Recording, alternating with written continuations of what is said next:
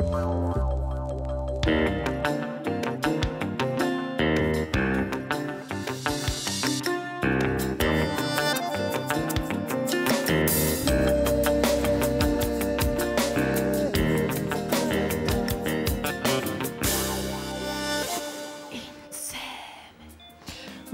tous et bienvenue sur le plateau d'INSEM. Je suis ravie de vous retrouver pour une nouvelle semaine. Alors, au sommaire aujourd'hui, chouette, c'est l'heure des devoirs, si promis, je vous jure.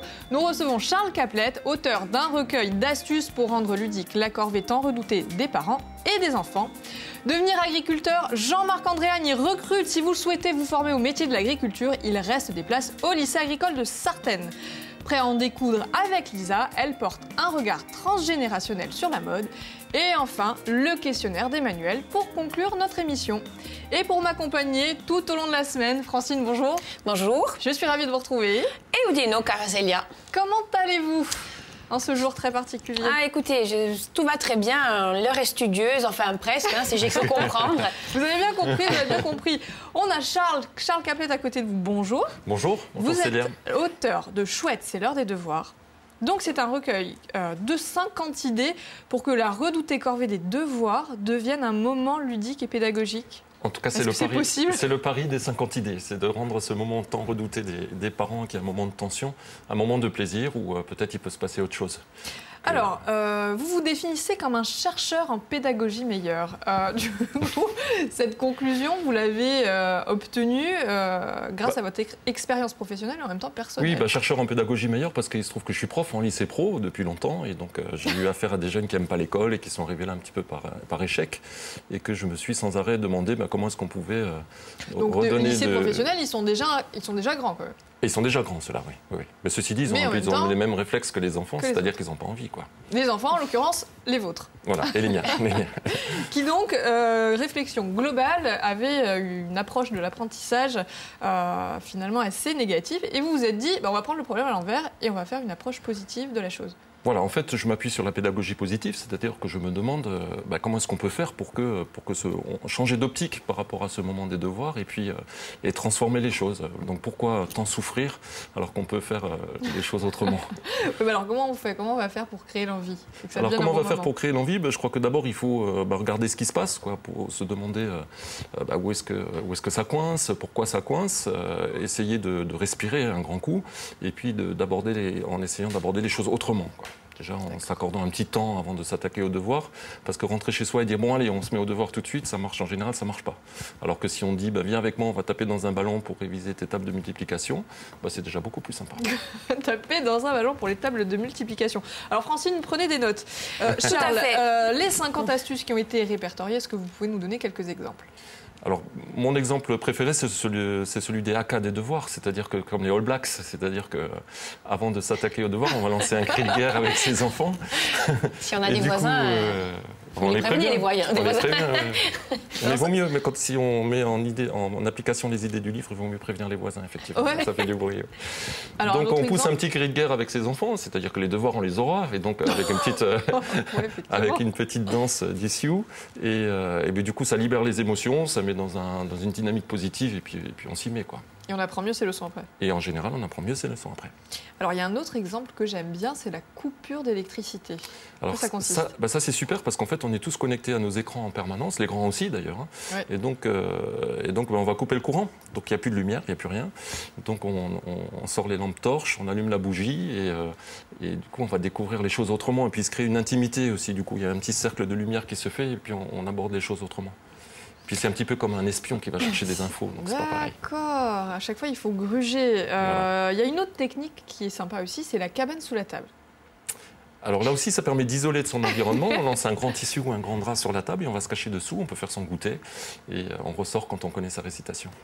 Alors ça, il y en a 50 comme ça. Ouais. Euh, ça s'adresse à qui finalement? C'est plutôt pour les parents ou plutôt pour les enfants? Alors ça s'adresse aux enfants donc plutôt à l'école primaire et jusqu'à Ouais. l'entrée de sixième. Mais ceci dit, ça peut aussi s'adresser aux parents.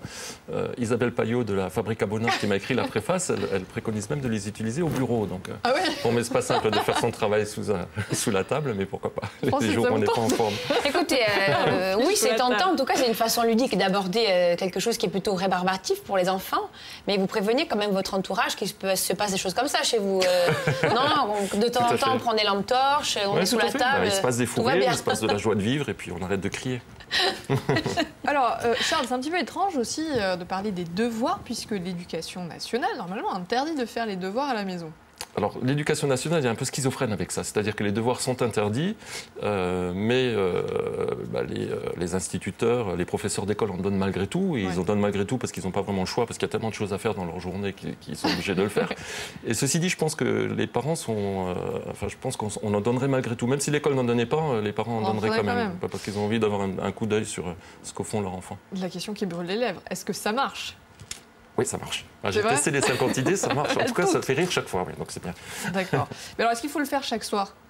Alors non, non, parce que quelquefois il suffit d'utiliser une idée ou deux, et puis parce que ça change la perspective des choses. C'est-à-dire qu'en en fait, on, s'aperçoit qu'on peut faire autrement. Et que ce qui est plus important que de faire ses devoirs, c'est la complicité qu'on a avec nos enfants. Je propose aussi, par exemple, de ne pas les faire.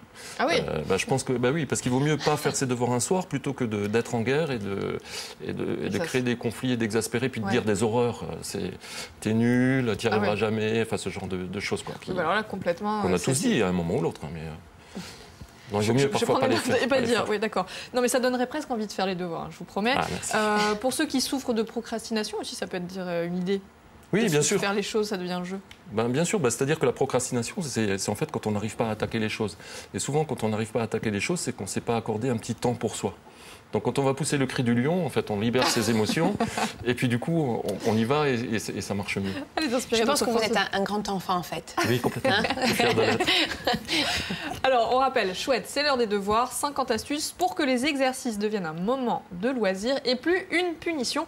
C'est aux éditions Erol. Charles, vous restez avec nous, c'est le moment de jouer et ça vous a inspiré, ma chère Francine. Ie, cara se gli audi, beh, allora si vuol dire che a 8 ore sarà data, ma allora è proprio facile. Allora, ma guarda un piccolo ridaglio di un film abbastanza famoso, eh, un seguito che se può ride, un anco. Euh, on va regarder un extrait, oui. Ie.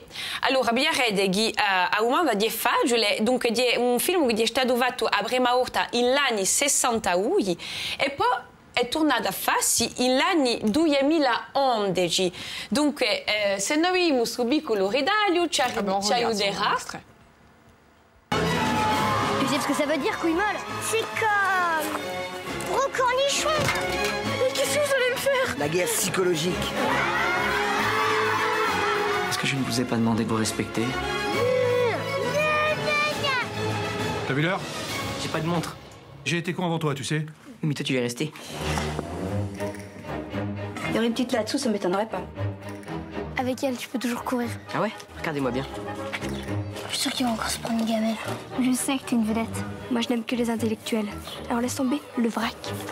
La varede borigunisciuto, dunque a domanda è chi è udito di su famoso film? Se avete a risposta, giocate pure con noi e chiamateci a 0800 000 900 da vince oggi dunque c'è su famoso caricatore per il nostro telefonino a, tenere in, in, in Ah borsa. indispensable. indispensabile e, e poi sul libro eh, che noi presentiamo Eh oui. una maniera di fare due abbastanza quasi ridicola ecco allora e vince Donc 0800 3 x 0 900. On va poursuivre avec l'enseignement. Euh, rester enfermé dans un bureau ou devant un ordinateur n'est absolument pas fait pour vous. Vous êtes manuel et vous êtes attiré par les métiers de l'agriculture et vous voulez vous former auprès de professionnels. Eh bien ça tombe bien parce qu'on reçoit l'homme de la situation. Il est caché, il rentre, c'est Jean-Marc Andréagne. Je vous en prie, prenez place. Bonjour, vous êtes notre expert. Bonjour. Vous êtes accessoirement le directeur alors, de ce qu'on appelle communément, et à tort, excusez-moi, le lycée agricole de Sartène. En même temps, vous l'avez bien cherché, établissement public local d'enseignement et de formation professionnelle agricole de Sartène. Ça faisait un peu long, donc excusez-moi pour le raccourci. Et vous êtes là parce que vous êtes à la fois à la tête d'une exploitation agricole, d'un centre de formation des apprentis, d'un centre de formation professionnelle pour adultes et d'un lycée professionnel. Tout ça, donc, le lycée professionnel de Sartène. C'est ça. Tout à fait. J'ai bien. Donc, euh, vous êtes là aujourd'hui parce que vous recrutez. Oui, tout à fait. Nous sommes en phase de recrutement euh, des apprentis, donc jusqu'à fin décembre. Et euh, nous avons actuellement encore des places euh, à pourvoir euh, sans aucun souci, donc à partir de 16 ans.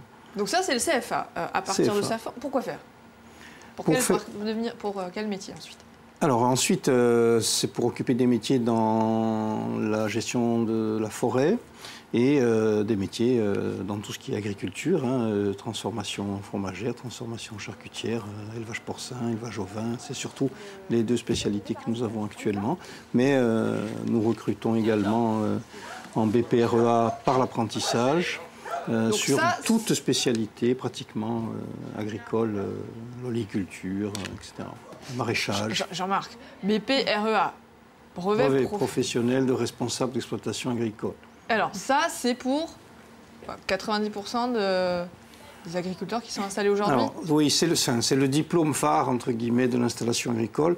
C'est avec ça qu'on s'installe essentiellement aujourd'hui. C'est un diplôme de niveau 4, donc équivalent baccalauréat, qui se passe en 9 mois, donc euh, au CFPPA ou par la voie de l'apprentissage à Sartène, comme à Borgo d'ailleurs, hein, dans notre lycée agricole. Et c'est le diplôme que possèdent la plupart des, des agriculteurs aujourd'hui. Donc ça, c'est celui pour euh, les adultes en reconversion ou en formation. Voilà. Ok c'est pas celui qui est destiné euh, au CFA. Le CFA, il forme au CAPA, donc, qui est un diplôme niveau 5, sorti de troisième en deux ans, et il forme au BPRA également. Le BPRA est à cheval sur deux systèmes, la formation adulte et la formation par l'apprentissage. C'est compliqué tout ça. hein. Donc si on veut plus d'infos, il y a un site internet qui s'appelle www.epl.sartène.educagri.fr. Alors, vous avez dit euh, deux ans pour le CFA. Hein?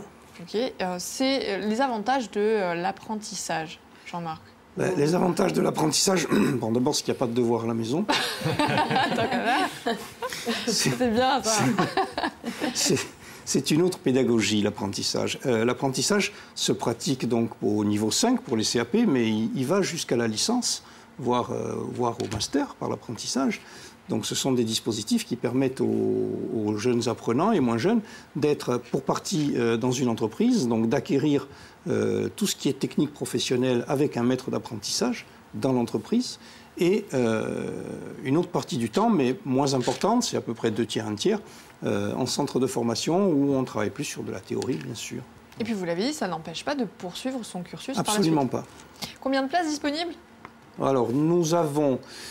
C'est un petit peu compliqué. Euh, nous avons une quinzaine de places en BPREA par l'apprentissage et euh, nous souhaitons recruter euh, à peu près 40-45 apprentis au niveau CAPA. Voilà. D'accord. Et ça peut être aussi dans le cadre d'un perfectionnement? Ça peut être aussi dans le cadre d'un perfectionnement, oui, tout à fait. On a des adultes qui ont 40-50 ans qui, qui viennent en BPREA. D'accord. Bon, alors on rappelle www.epl.certaine.educagri.fr. Il n'y a pas de devoir. Ça se passe bien. Jean-Marc, euh, vous allez rester avec nous, mais je vous donne déjà rendez-vous, parce qu'on a bien compris que c'est un peu compliqué l'organisation de ce fameux lycée professionnel de Certaines. Vous allez revenir dans un petit mois, nous expliquer euh, si ça vaut le coup justement euh, de s'orienter dans ces filières. Avec Ma plaisir. chère Francine, euh, bah, les agriculteurs et ces beaux produits de saison, ça vous a donné envie de nous concocter une météo savoureuse. Ie, ie, stagione e siamo passati da autunno. Allora a me è una stagione che mi garba perché ci sono assai frutti e legumi e dunque abbiamo provato sta domenica fare una piccola sosa, scusate, dunque ho fatto una, una zuppa d'autunno eh, con una zucca, fatto una zucca di dirigente rami, tre carote, pedrosello, sale, pewaro e olio d'olio. E dunque, ben intesa, ci la cogge i legumi, ci la mette più legumi che acqua, un condiro dell'acqua e poi dopo mi fate un, uh, immaginate tutto qui e un biverma più catastalla di un incontro. Bon, se ora passiamo a meteo perché che siamo qui di per darvi l'informazione ai nostri telespettatori. Allora guardate bene, a nostra carta cada bene subito, dunque c'è una perturbazione leggera leggera che varca Ugelo e Corsica, immaginata un sole abbastanza presente e qualche nuvolucci in tutta Corsica. In un pomeriggio appena più foschi, signi, William, con delle luci e tone, luci mm, eh, appena appena. In Corsica Sobrana vorrà di Agastanice, un temporale si verrà più timido, un tempo ferma sulla nadu, un trattolino di vento soffierà di abarte di che di Bonivadio e in un ordo di Gabigurso e temperature le di stagione di 24 a 27 gradi e di 20 a 28 gradi in i paesi che hanno un'altitudine di 600 metri. Ecco Merci Francine, où effectivement à l'intérieur c'est un temps de soupe. hein. D'accord. Alors Jean-Marc, euh, une fois de plus, je vous remercie d'être venu avec nous. Et euh, pour vous dire qu'il va y avoir un petit sujet, voilà, une qui a bien euh, suivi le fil, c'est Lisa. Elle va confronter plusieurs regards sur, bah, sur la mode et sur l'agriculture. Elle a même trouvé un nouveau concept qui s'appelle le mode truck, c'est assez surprenant. Elle a mené l'enquête, c'est Lisa, on regarde.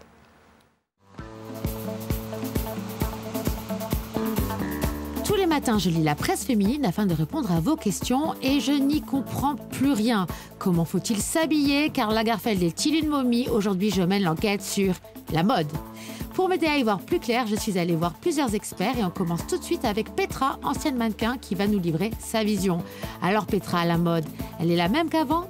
Aujourd'hui, euh, tout a changé, même dans la mode. Je veux dire, euh, on dit par rapport à la mode, ça a changé, par rapport à mon travail, ça a changé, ça a changé par rapport au, au côté économie, les prix ont baissé. C'est moins bling-bling par rapport à avant, ça faisait vraiment rêver. La mode faisait rêver, on était tous en admiration devant ces dix filles euh, qui nous faisaient rêver. Aujourd'hui, vraiment, les filles partent et viennent, il y a des nouveaux visages en permanence qui apparaissent. La blogueuse, justement, peut être égérie. Oui, c'est ça. Et mon enquête continue et me mène dans l'atelier du créateur Jacques Simkovitch, dont voici les créations. Lui brise les codes en mêlant le prêt-à-porter et la haute couture. Idée géniale, la robe sans couture et petit secret, elle va même dans l'eau. On sait jamais, si vous avez une soirée piscine, ça peut être utile. Jacques, dis-moi, la haute couture existe-t-elle encore? Je trouve que la haute couture est dépassée et pour moi, elle est en voie d'extinction, c'est terminé. Et le prêt-à-porter, il offre pas assez de, de possibilités aux femmes. Euh, Une femme, par exemple, va aimer le rouge. Et tout d'un coup, cette année, c'est le bleu indigo à tire-larigot qui est... Pour cette femme qui aime le rouge, elle n'a aucune possibilité de trouver du rouge. On ne lui offre pas cette possibilité-là. Donc moi, je me dis pourquoi on n'ouvrirait pas les palettes de coloris et pourquoi on, on n'offrirait pas des possibilités aux clientes? C'est pour trouver une nouvelle forme de prêt-à-porter. Puis j'ai pris Jacques sous mon bras pour prendre le soleil et lui faire rencontrer Alfrance. Elle, elle a tout compris. Les consommateurs se rendent de moins en moins en boutique. C'est pourquoi c'est elle qui se déplace à eux. Même à la sortie de plage. Explication par la principale intéressée.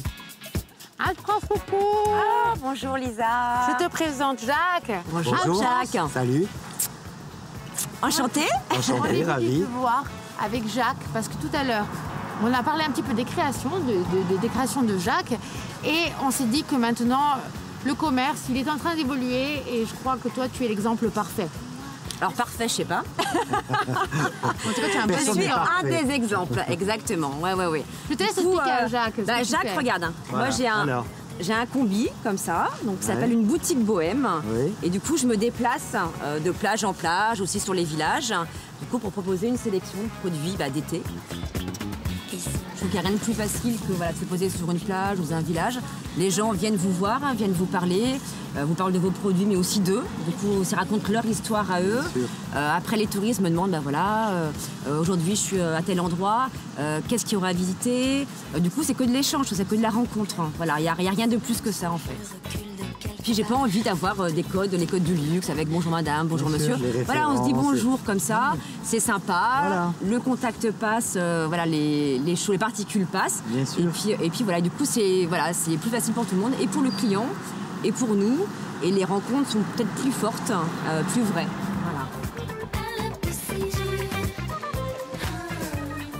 Allez, on reste encore quelques instants sur la plage et on résume. Portez absolument tout ce que vous voulez, soyez libre, créez votre mode, devenez votre propre égérie, bref, vous avez tous les droits.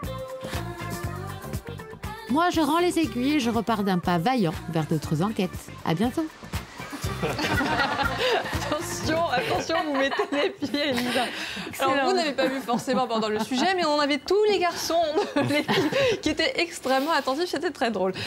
Charles, euh, on rappelle, vous êtes l'auteur de Chouette, c'est l'heure des devoirs. C'est un recueil de 50 idées pour que la redoutée corvée des devoirs devienne un moment ludique et pédagogique. Alors, autant vous dire qu'Aël, euh, vous ne pourrez pas lui faire à l'envers. Charles, elle est maman de deux garçons et elle est experte en devoirs et en questionnaire. C'est Emmanuel. Bonjour. Alors, experte en devoir, je ne sais pas. En revanche, qu'aujourd'hui est un jour béni, il existe enfin un recueil qui va m'aider à passer des soirées plus zen avec mes enfants. Et rien que pour ça, merci. Alors, on va attaquer le questionnaire parce que quand même, hein, je suis un peu l'esprit critique du- de la bande. Si vous étiez ministre de l'Éducation nationale, quelle serait votre première réforme? C'est une grande question. Euh, Je crois que ben, j'instaurerais déjà une, école, une journée d'école buissonnière obligatoire par trimestre. Mais Ah, c'est bien, ça. c'est pour, ça, c'est pour rire, mais je le propose aussi dans le livre. Ouais. Et sinon, de façon plus sérieuse, je pense qu'il faut réenchanter l'école en France. Il faut redonner aux profs l'envie de, de, de le faire avec plaisir. Quoi. Beaucoup de profs sont rentrés dans leur niche parce que l'organisation, la hiérarchie, etc. Et aux enfants d'y trouver Et du oui, plaisir les par enfants, la voilà. Et du coup, réenchantons l'école. Retrouvons du plaisir à ce qu'on fait. Si vous étiez un pays, bien sûr, là où euh, le système éducatif vous paraît. Alors je serais un pays nordique adapté. parce que je pense qu'ils ont mieux compris euh, bah, comment ça fonctionne, comment les apprentissages fonctionnent. Les rythmes sont plus respectueux des enfants. Des rythmes de l'enfant, des rythmes Des rythmes de l'enfant. Voilà, on fait du sport l'après-midi. Enfin, il y a plus de temps pour le corps aussi, euh, ce qui n'existe pas trop en France. Si vous étiez un outil pédagogique, Un outil pédagogique. J'aime bien la craie, mais ça fait un petit peu vieux jeu du coup. Non Mais euh, un outil pédagogique, euh, je crois que j'aime bien les fenêtres. J'aime bien les fenêtres dans les salles de classe parce qu'on peut regarder ce qui se passe ailleurs. c'est bon signe quand un enfant a un peu trop. le- Parce Eh qu'en oui, général, on nous convoque pour nous dire qu'ils ont trop le nez dehors. Regardez Prévert. c'est vrai. Si vous étiez un mot, Si j'étais un mot, ce serait bah, plaisir forcément ou chouette. chouette. Chouette, c'est bien. Chouette. Si vous étiez un cri, Ah bah, le, le rugissement du lion, alors pas, pas quand il va se jeter sur sa proie, mais quand Non. il va aller euh, voilà, conquérir un territoire. juste avant d'attaquer les devoirs Voilà, juste avant d'attaquer les devoirs. Si vous étiez une pièce de la maison, À la cuisine, forcément, parce que enfin, je suis fils de cuisinier et, euh, et j'avais très envie que mon livre ressemble d'ailleurs à un livre de recettes. Ça l'est un petit peu. Et puis dans la cuisine, il se passe plein de choses. Quoi. On peut faire ses devoirs pendant que maman Ah bah, ou oui, papa bien sûr, c'est le lieu idéal. oui. Si vous étiez un moment de la journée, Le matin, très tôt, oui. Ouais, le matin. Au lever du soleil, ouais, quand on attaque. La journée est un voyage, donc ça commence le matin. si vous étiez une matière à inclure dans les programmes, L'exploration. Deux. L'exploration de monde, tout, de de, soi. de- de soi, du monde. Euh, sachant qu'un explorateur, il est forcément positif, parce qu'on ne va pas explorer si on n'a pas une vision positive des choses. Tout un programme. Ouais. Si vous étiez une devise pour terminer, J'y vais on y va On y va. Allez, c'est parti. Merci beaucoup. Merci Emmanuel. Alors après toutes ces réponses, euh, pour s'amuser un peu aussi, euh, entre deux devoirs, il y a un programme à ne pas rater sur Viacel. Karazelia Stazer, dividia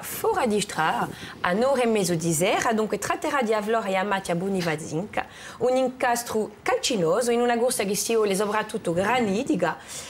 biali, eh, come lo si chiama così, Bunivadzinca ha grotta un'avlora unica per i botanisti su Biali è un'isola, in un'isola, un luogo fora di un tempo, in dove lui è proposta una, una grande, grande diversità. E quindi stasera non remezo iser. Vous avez sélectionné un petit extrait? Sicuro, Ah, vediamo on insieme. regarde.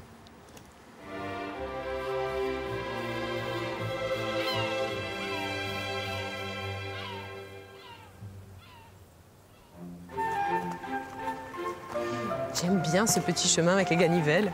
Ah ouais, elle est jolie. Et en plus, là, tu as une mosaïque de végétation avec le, genévrier de Phénicie et ces beaux fruits là qu'on rencontre un petit peu partout hein, sur le, le bord de mer. C'est vrai qu'on en a vu partout, à Rocapine, à Santa Giulia, à Rondinard. Ah ouais. Ouais. Il est partout présent. Et là, regardez, il se fait engloutir par la salse pareille et l'herbe à. Il va le dévorer. Et ouais, parce que là, tu as des lianes assez puissantes avec des piquants. Donc, dans quelques temps, le, le genévrier. Et là, voilà, une autre plante hein, qui, est, qui est utilisée en médecine traditionnelle depuis très longtemps, l'armoise arborescente. Elle est belle, hein Une Regarde. jolie couleur, hein Ouais, Et puis les feuilles sont très découpées, dentelées et d'un gris argenté. Et quand il y a le soleil qui tape dessus, ça brille. Et puis cette plante, eh ben, elle est à- en fait, c'est la cousine de l'absinthe. Ah, on peut la distiller? Eh, tu peux, ouais, tu peux en faire de- des alcools très très forts d'ailleurs. Mais elle est surtout utilisée euh, en fait en huile essentielle contre certaines euh, dermatoses. Ecco, dunque io stasera fora a remezo. Bon, très bien. Merci Francine, le rendez-vous est pris. Euh, maintenant, c'est le moment de la réponse du jeu. Alors, est-ce que nous avons un gagnant au téléphone? Bonjour. Bonjour. Et en fait, euh, j'ai pas la réponse. Ah ben alors, mais pourquoi nous appelez-vous, franchement? Et J'appelle parce que je connais une certaine Corinne, c'est son anniversaire aujourd'hui. Je voulais souhaiter bon anniversaire à travailler avec vous. Mais qui Qui Mais qui donc Corinne. Qui donc Qui êtes-vous Non, il y a que Corinne qui fête son anniversaire d'autre fête son anniversaire aujourd'hui. Elle est plus toute jeune. Alors, comme on est poli, on va pas dire son âge, mais c'est son anniversaire. Ah, c'est Alors, on lui fait des gros bisous. Merci. Et puis, de la part de toute Merci. l'équipe. Ah, on vous laisse continuer de travailler. hein. À bientôt. Ah ben, Merci, on va, on va chantonner. Allô Yann, tu as oublié quelque chose. Ah là là. Évidemment. Le téléphone du Très, gagnant. très, Le très du joyeux anniversaire, Francine Merci. Je suis touchée. Merci, c'est gentil. hein. Elle est émue. Je suis- alors, je suis par contre désolée de vous dire, mais le, le chargeur et, et le livre.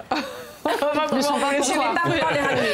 sont pas pour vous. Alors, on avait, on avait une vraie gagnante, quelqu'un a appelé. Je crois que son nom s'est affiché, donc rassurez-vous, euh, les cadeaux sont pour vous. Le bouquet, non. Merci en tout cas. Qu'est-ce que vous allez faire après l'émission, ma chère Francine? Oh, Des devoirs? vais- Des devoirs, certainement. Euh, sur la table avec la, la lampe torche d'ailleurs. Avec le bouquet. Et le bouquet, voilà. T'as Et pu le la faire, bouquet. On a vu qu'elle savait Bon, alors, euh, juste, je- j'en profite hein, avec Non, toute cette émotion pour vous dire quand même que euh, Viastel a une petite annonce à passer aujourd'hui. Viastel vous offre votre chance. Voilà. Pour conclure cette émission, je voudrais vous dire qu'on a décidé d'agrandir l'équipe INSEM ainsi que l'équipe météo. Euh, si vous avez envie de tenter euh, l'aventure, eh ben, vous pouvez nous envoyer un CV avec une photo à l'adresse qui s'affiche, voilà, casting.viastel.francetv.fr. Si vous parlez corse, euh, que vous avez minimum un bac plus 3 et que vous êtes plutôt sympa, on pourra discuter. Hein, Francine? Oui, on, on va, Plutôt on va sympa, discuter. Vous voyez, On va aller voir. C'est plutôt un garçon là en ce moment. Hein, J'ai bien la main. Bon, eh ben voilà, hein. On va négocier, c'est son anniversaire, elle a tous les droits. On rappelle, Charles, euh, vous étiez là pour euh, nous présenter votre ouvrage chouette, c'est l'heure des devoirs, donc 50 astuces pour que euh, l'heure des, de, la corvée en fait devienne un bon moment. Un bon moment. oui. Voilà, donc je vous promis, Merci. ça marche. Promis, ça marche. Euh, J'en profite aussi pour vous dire qu'en partie 2, nous allons recevoir Antoine Orsine, qui est hydrobiologiste, et qui va nous dire pourquoi l'eau de mer est salée. Est-ce que vous savez? Je sais pas. Vous êtes sûr qu'elle est salée Je- J'en suis sûre et certaine. Alors la réflexion peut vous paraître un petit peu naïve, mais vous allez voir que euh, sous couvert de euh, bah, l'eau de mer est salée, on va parler de pollution marine. Il n'y a pas que le sel qui arrive dans l'eau de mer, il y a aussi plein d'autres choses.